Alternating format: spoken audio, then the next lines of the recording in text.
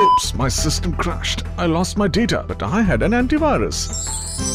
Antivirus is not enough. You need protegen.